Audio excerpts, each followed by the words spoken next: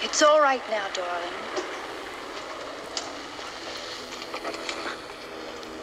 I know.